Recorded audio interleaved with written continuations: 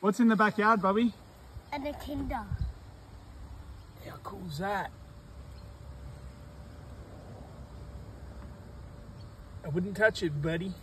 Oh my gosh, it scared me. We need to get it at jump stick and look how quick it is.